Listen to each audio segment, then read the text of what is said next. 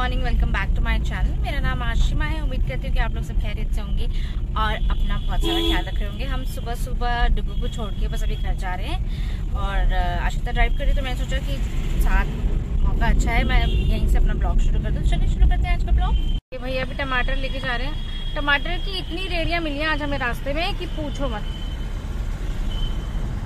Turn लेते ही nursery आ जाएगी। थोड़ा सा ना यहाँ पे स्पीड स्लो रख, क्योंकि ना जैसे लेफ़्ट में जगह मिलेगी, वहाँ कार खड़ी कर देना। एक नर्सी तो ये है और एक आगे भी है। चल, यहीं पे खड़ी कर ले। आगे ऑटो के आगे खड़ी करी यहाँ टर्निंग पे नहीं। और आगे कर, जहाँ से इसका वो है ना एंट्रेंस का गेट है वहाँ से। चल चल। वो रहा, और आगे वो जहाँ पे लिखा है, कुछ हॉस्पिटल लिखा है। नहीं नहीं, जहाँ पे वो मंदिर पड़े वहाँ पे बहन, ये तो इसी तरफ़ थी, उस तरफ़ थी, इस पे तो हम नहीं देख सकते ना, उस वाले पे ही देख सकते हैं। हाँ हाँ ये जहाँ मंदिर पड़े ना, यहाँ आगे कर ले। बस बस यहीं पे। ये जी, हम नर्सरी में आ गए हैं। कितने सुंदर सुंदर मंदिर है ना मार्बल के। हाँ हाँ वो तो है, पर नीचे रखने वाले हैं, ये तो हैंग भी नहीं होंगे, कितने प्यारे मंदिर आज उतरो।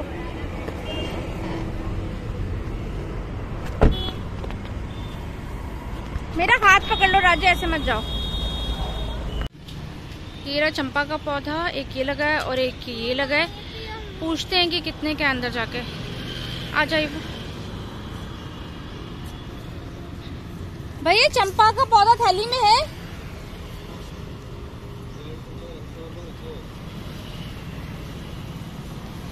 हाँ भैया, मुझे चार सौ रुपये का दे रहे हैं, जो मैंने घर के पास से पूछा था तो वो छः सौ का दे रहे थे। तो मुझे लगा था कि एक बार मैं यहाँ पे भी पता कर लूँ, तभी लूँ तो ये मुझे ठीक लगा तो भैया भी निकाल रहे हैं इसे क्योंकि पीछे तो प्लांट्स रखेंगे ना हम।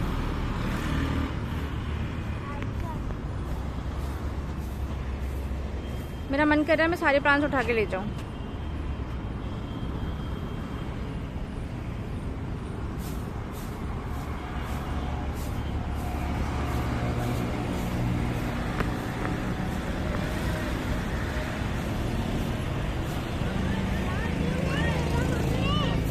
बोल रहे हो? वो भैया निकाल रहे हैं, अभी वो पॉलीथिन लेने गए हैं ना, हम गमला नहीं ले रहे, हम सिर्फ़ प्लांट ले रहे हैं। तो वो प्लांट के लिए पॉलीथिन लेने गए वो देखो भैया पॉलीथिन ला रहे हैं, आप इसमें डाल देंगे।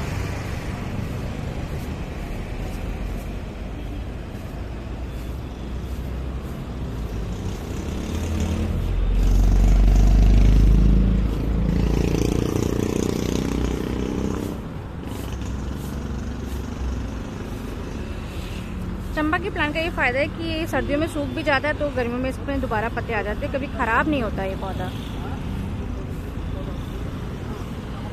चलिए लेके चलते हैं घर, अभी हमने मंडी भी जाना है फ्रूट्स लेने के लिए अभी हम लोग सीधा घर जा रहे हैं, क्योंकि हमने प्लांट को बहुत मुश्किल से कार में रखा है। तो अगर हम मंडी जाएँगे और एक देर तक बंद कार में पड़ा रहेगा तो मुझे लगता है कि खराब ना होने का तो डर लग रहा है। तो हम लोग सीधा घर जा रहे हैं, मंडी को देखते हैं, कल चले जाएँगे। पास से ले तो अभी घर जाएँगे घर जाके चाय बनाई जाएगी हम चाय। ये हमने ना बहुत क्यूट सा एक वाटरिंग कैन मंगाया है प्लांट्स के लिए। ये अमेजोन से। पहले हमारे पास है उसमें पंप करना पड़ता है तो बहुत मेहनत लगती है बार बार बार बार उस पंप को ऊपर नीचे करते रहो। ये वाला बहुत अच्छा है ये बस है। हाँ बेटा। ये बस डायरेक्ट आपने नोजल जो है यहाँ पे लगानी है और प्लांट्स को वाटर करना और ये है भी थ्री लीटर्स का है तो काफ़ी सफिशियंट है हमारी बालकनी के लिए। चलिए इसे खोलते हैं। डुगू कहता है कि मैं इसे खोलूँगा। बेबी, उसके आगे नॉट लगी हुई है। एक मिनट यहाँ पे नॉट लगी इसको खोलो ना।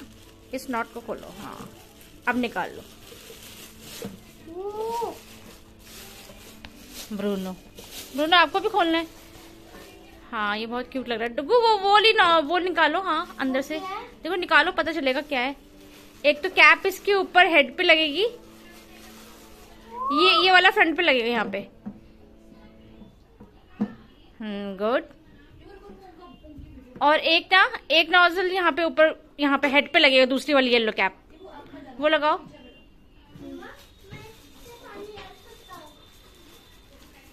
येलो वाला है ना? हाँ ये निकालो।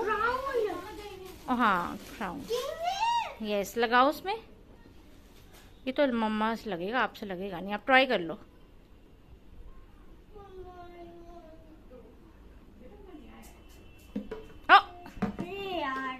चलो हटो मैं लगाती कोई बात नहीं। हो गया है फिक्स अब हम इसे यूज़ कर लेंगे। हाँ बेटे इसे पानी डालेंगे लेकिन एक बार चेक कर लें कि ये सही है कहीं हमें रिटर्न तो नहीं करना। तो फिर आप उसके बाद डाल दीजिएगा ठीक है? हाँ पहले चेक तो कर लें। हाँ। आपको अच्छा लगा ये? ये रेड कलर डिगो आपको भी अच्छा लगा? एलिफेंट किंग ओके तो मेरी काफ़ी टाइम की मलाई इकट्ठी हो गई है तो मुझे डर लग रहा है कि ये कहीं ख़राब ना हो जाए। तो मैंने सोचा, डुगू टाइम से सो गया है, मेरे पास काफ़ी टाइम है अभी। और सुबह के ब्रेकफास्ट और उसके लंच की तैयारी मैंने अभी से कर ली है। तो मैं आज अभी जो है ये घी निकाल लेती हूँ।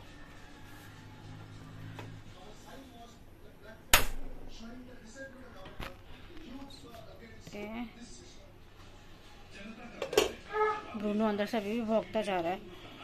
उसे हर साल, मेरे साथ साथ चलना होता है तो वो कभी कभी पॉसिबल नहीं होता, क्योंकि वो रुकता ही नहीं है। अब जहाँ मैं चलूँगी एक एक कदम पे मेरे साथ चलता है तो मुझे कभी कभी लगता है मैं इतनी स्पीड में चलती हूँ, कहीं गिर ना जाए, लेकिन वो समझता ही नहीं है। यहाँ पे निकाल लिया है। मैं इसका घी बना लूँगी, क्योंकि दूध में इतनी मलाई आती है तो मलाई तो हम में से कोई भी नहीं खाता। तो या तो हम इसका मक्खन बना लेते हैं या फिर इसका घी बना लेते हैं।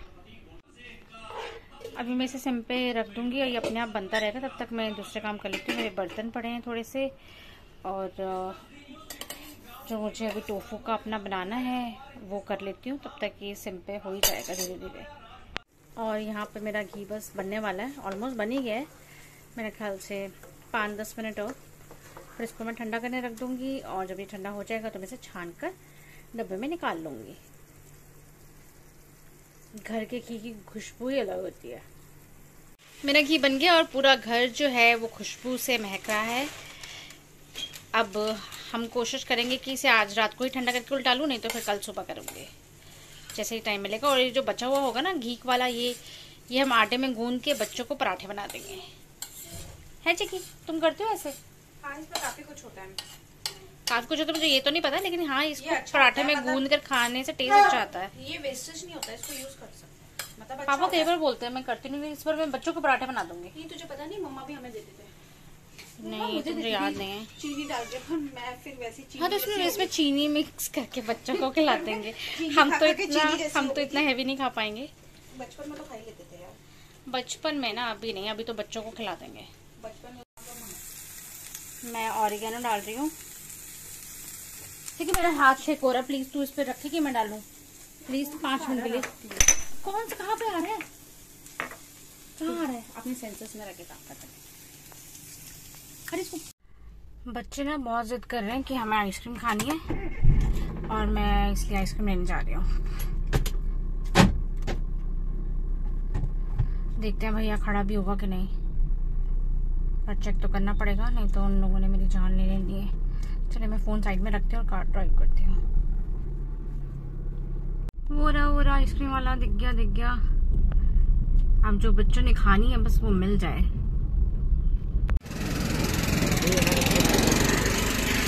इसका ब्लॉग जी यहीं ख़त्म करते हैं। अगर आपको अच्छा लगा तो please do like subscribe and share and comment करना बिल्कुल भी मत भूलिएगा। Thank you so much